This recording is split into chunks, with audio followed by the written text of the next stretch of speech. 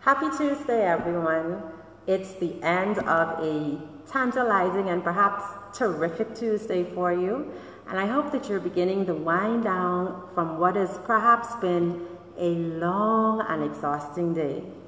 Today, we're talking a lot about failure. I mean, as you think about it, we've had a relationship with failure for the vast majority of our lives. And when I start to think about how we handle failure, I realize that a lot of times failure is not looked at as a positive thing. When you think about failure, when you think about giving your all, when you think about being vested, when you think about getting involved in something and the end result is just not what you desired, what are some of the emotions that you grapple with? What are some of the questions and the thoughts that circulate through your head? What are some of the things that pull you down and make you just want to throw it all away? I mean, failure has been with me from as far back as I remember.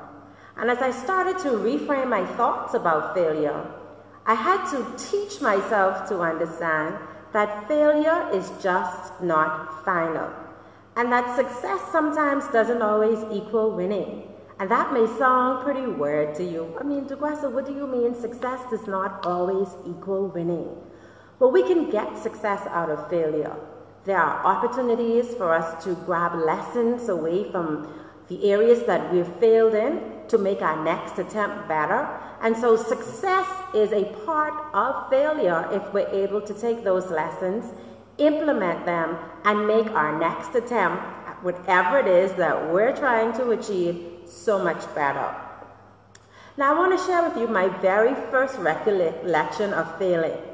And I was probably about 11 years old in sixth grade. And way back then, one of the methods that the school that I attended used to select their prefects was that you had to sit an exam. It was a three page exam with questions on both sides of the paper. And back in the sixth grade, I remember being a sharp young lady. Um, you know, as a matter of fact, throughout my entire school journey, I don't remember having to study, and so I was pretty confident going into the exam. I looked forward to being a prefect. I looked forward to wearing my special uniform, being able to be a student that was upright, and I stood out in my uniform, and people would know that, hey, this girl is a stellar student and she is a leader. And so I entered the exam room eagerly, sat down, took my exam, wrote my name, Duquesa Dean, on each page. Just in the event the pages got separated, they would know that those papers belonged to me. And so after I placed my name on the papers, I went through each paper carefully, answering the questions as best as I possibly could. And I was finished the exam so quickly. And as I looked around the room, I wondered why were other people taking so long to complete this exam? And so I let the teacher know that I was finished with the exam. And she's like, Duquesa, are you sure? And I was like, yes, I'm sure. I'm finished. It's all done. And, and here is my paper. She's like, Duquesa, please take the paper, look it over again, use the extra time just to make sure that your answers are correct. And I was so confident that I had written the right answers and that I'd given my absolute best to that exam. And I knew walking out of that exam room that I would be a prefect in the next school year. Fast forward to the beginning of the new school year, and you probably thought it right. I was not selected to be a prefect. And can I tell you why? Even though I'd taken the time to carefully write my name on top of each of those papers so that in the event it got separated, I had neglected to complete one section of the exam on the back side of one of those papers. And because I did not complete the exam in its entirety, my score was not high enough for me to be given the designation of prefect in my primary school. I was so disappointed. Not only was I disappointed, I was embarrassed. I was embarrassed because all of my friends would be wearing their special uniforms and they would have special responsibilities and they would be seen as leaders and recognized as leaders in school and I would I would not be. As a young girl that really hit my confidence hard. And I sat down and thought about how could I absolutely let this happen? How could I have been so careless? And even though I'd been given the prompting by my teacher more than once to double check my paper, in my confidence and in my self assuredness and certainty, I neglected to do so. That was one of the very first lessons I got with failure at 11 years of age. And can I tell you, I've never failed an exam. I didn't fail that one but I've never not answered all of the questions on an exam paper ever since. That failure taught me to be extra careful, to use the extra time to look over my paperwork, to make sure that my calculations were right, to not be overconfident, to listen to the advice of those who were older than me, who were prompting me to take a second look.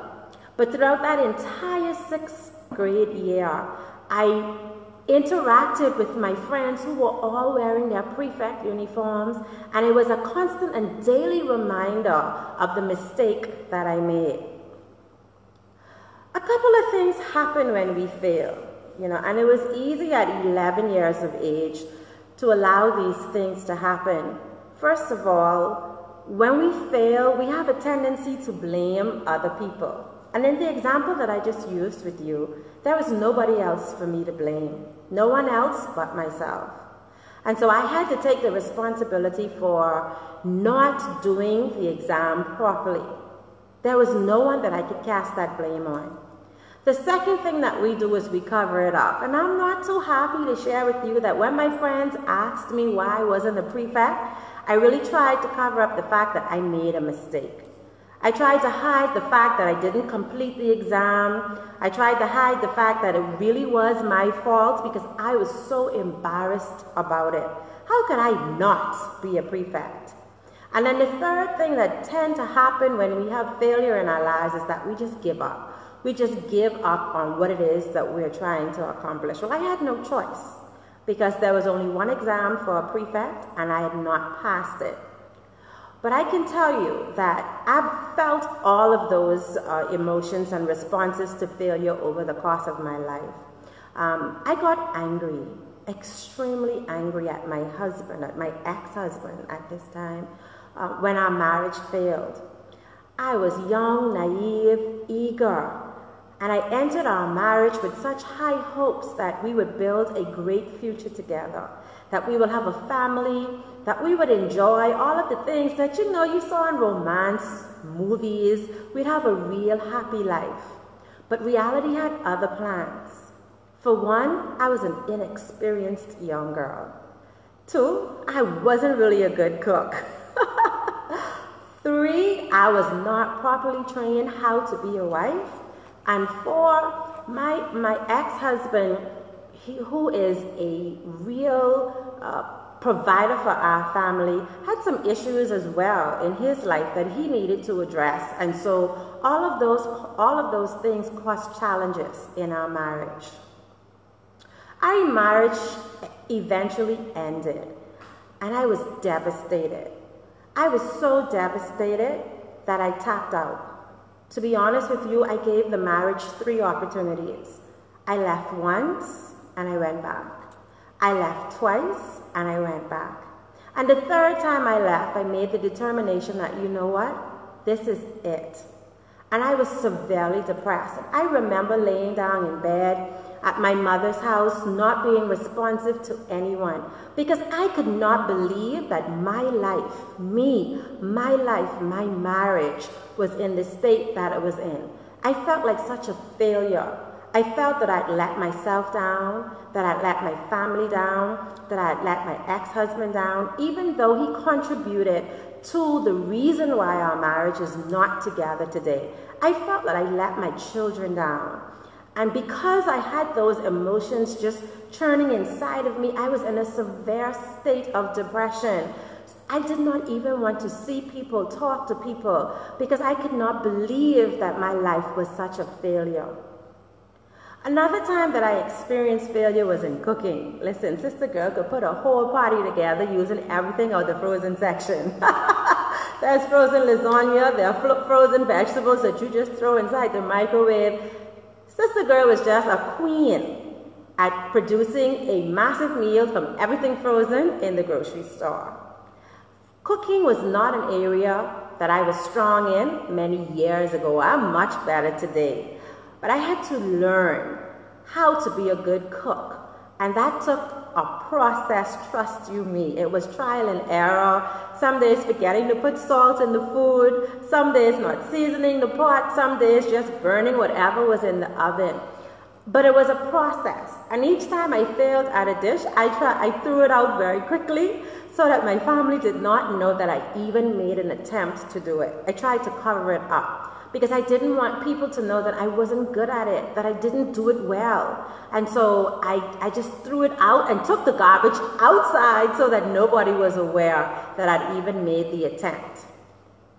And so that's how we cover up. And then we give up. And one thing that was so important to me in my life was wanting to work with young girls. You know, after having such a traumatic life, I wanted to help young girls understand that they were valued, appreciated, loved, and if they had had any traumatic experiences in their lives, I wanted to help them move past those experiences.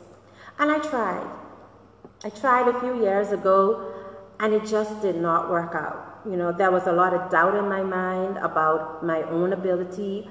Not only was there doubt in my mind about my ability, I started to think about what if I fail? What will people think? And so I allowed those thoughts to saturate my mind and I gave that dream up. Well, a few years later, the dream rebirthed and I'm continuing on that path, I'm happy to say. But I did give it up before I was able to fully embrace it and bring the program to the place that it is today.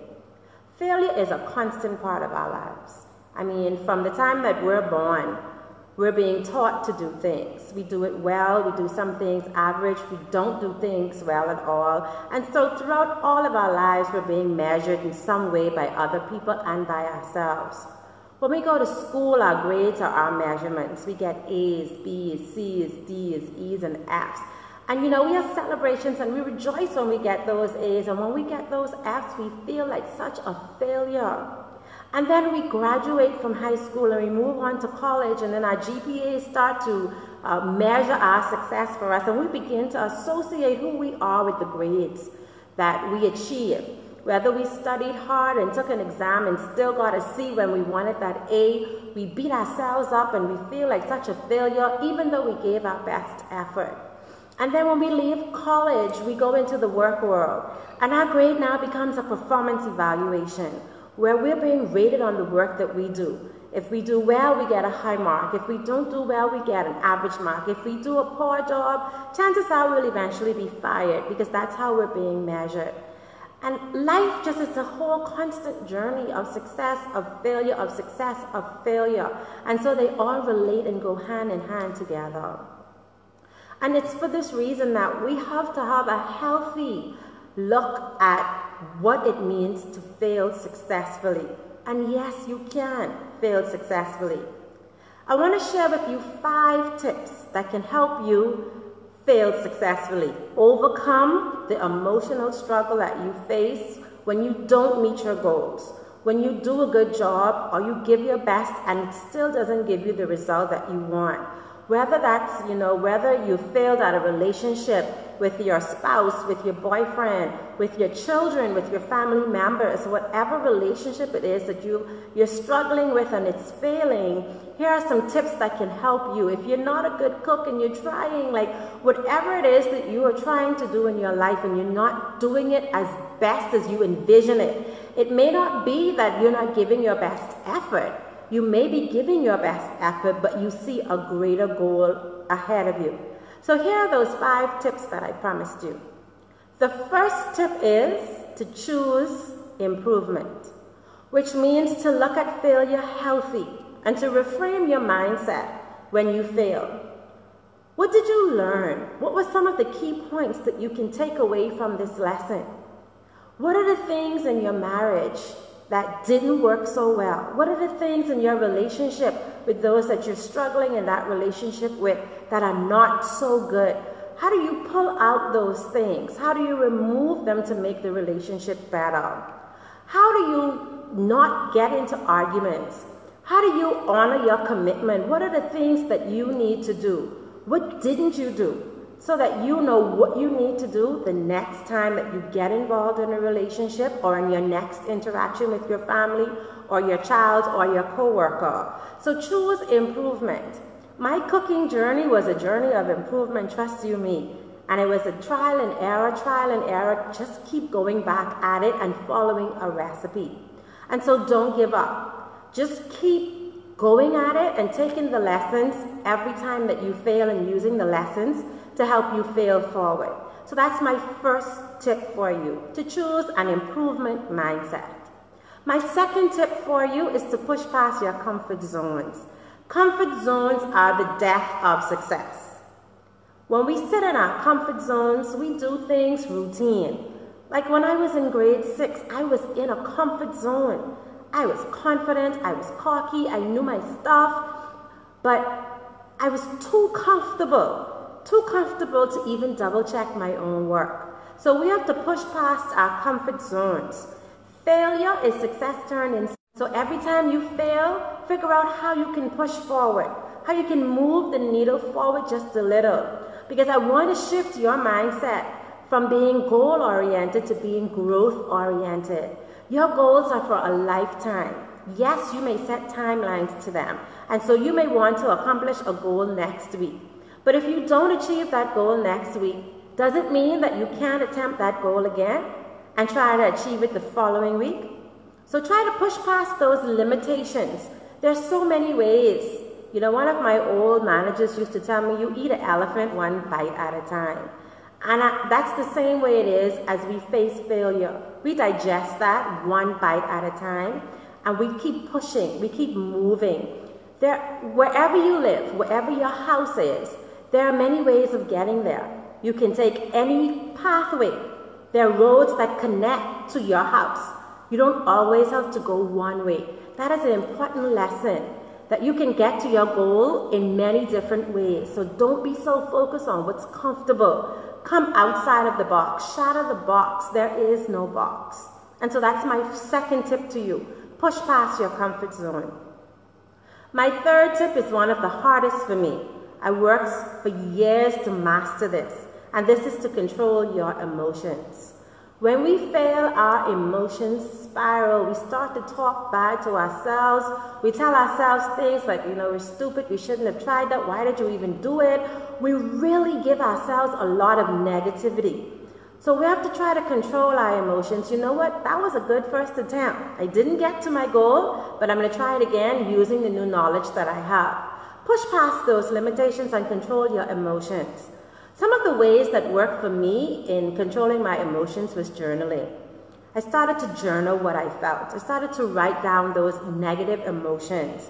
Whenever I was telling myself that I was not successful, whenever I was telling myself that, you know what, you're dumb for even trying this, whenever I was telling myself that, you know what, relationships are not worth it, or that, you know, working along with people is just not worth it because they're so complex, I wrote all of those things down. And then next to them, I wrote the reason why they were lies, right? Those are not accurate. And so I had to prove to myself by controlling my emotions that it is possible. So I encourage you to journal. Additionally, I encourage you to use positive self talk. We tell ourselves a lot of negativity. The most important voice you're going to hear over your entire life is your own voice. Be kind to yourself. Tell yourself that it is possible. And even though today you may not be where you are, tomorrow is another opportunity to start again. The next minute is another opportunity to start again. So start reinforcing and affirming yourself, letting yourself know that you are valuable, that you are a gift to the world, that your talent is necessary, that your dreams are possible, that what you are trying to achieve will make a difference in your life and in the lives of other people. Have to counteract that self talk um, and don't be negative. Stand in the mirror and tell yourself all of the important things that you need to know about you. You know, if you if you don't believe you're beautiful, find all the things about you that are good. Do you like your lips? Do you like your eyes? What are the qualities about you physically that you love? And start being positive and loving towards yourself. Treat yourself kindly. Buy yourself a Starbucks coffee once a week. Buy yourself an ice cream once a week. Treat yourself to a manicure, a pedicure. Do things that make you feel good about yourself because when you feel good about yourself, you're building a healthier self esteem and you're understanding that you have more opportunities in the future.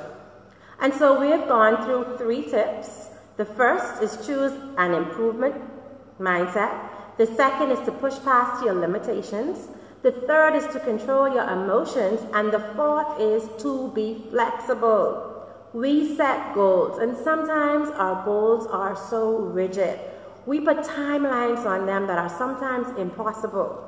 And so we may want to achieve a master's degree, and we're just coming out of high school and we want that master's degree to happen in a year.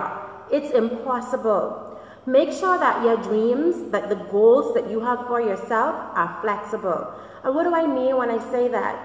It means that you can tweak them as time and conditions change. Because as we journey through life, things will change, circumstances will change, which means that we have to adjust. And when we adjust, we're doing it so that we can become successful in the things that we really want to. So make sure that you're flexible. My fifth and final tip is to create a comprehensive blueprint for your goals. We go through life at a fast pace. We go through life, we have dreams and goals in our heads, and we just go after them. We've not set out a concrete plan for us to follow. And when you fail to plan, you really plan to fail. And so, to help you on your journey with overcoming failure, my fifth recommendation is to create an action plan for you to follow. We set goals at the beginning of every year. These are our New Year's resolutions, and we write them down. I want to learn how to cook. I want to learn, you know, how to be healthy. We write those things down, but we don't give ourselves an action plan. How do I do this? What are the steps that I need to take? What's the first step? What's the second step? What's the third step? How do I break my goals down so that they are attainable? When I learned this secret about three years ago, it absolutely transformed my life. And so I create blueprints. And it is so encouraging to just tick off those small steps and realize that my journey is happening.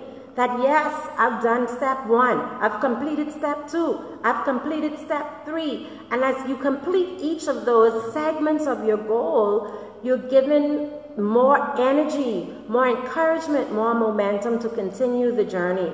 So don't have it all up here. Don't just leave it in your mind, which is a machine that's just going and going and going. Make sure that you write your goals out, and for each goal that you have, you have a, an action plan on how you can achieve those goals. As I close out today's uh, broadcast, I want to leave you with one final remember. And that final remember is failure is not final. It is not final. Because you fail at something today does not mean that that is the end of the world. T tomorrow is another opportunity. Next week is another opportunity. Soothe yourself, heal yourself, pick yourself up, and continue on the journey. I want you to also know that every other person in this world struggles with failure every other person. So you're not alone. You're not alone dealing with the emotions that rock you when you lose valuable relationships, when you don't meet your goals, when things don't work out the way that you want them to work out. You are not alone. So do not feel alone. Make sure that you remember today's failure is tomorrow's success because failure is not final. I am so happy, so very happy that you took a few minutes out of your terrific Tuesday night to sit with me and talk about how to overcome failure. Thank you so much for your time, and I look forward to hanging out with you again in the future. If you need more information or more support on how to overcome those challenges, on how to overcome failure or success, please log on to my website at duquesadean.com and you can find some resources or you can fill out the contact me field. Reach out to me and I'll be more than happy to help you get past any challenges or any areas that you're stuck. I look forward to hearing from you and have a great evening.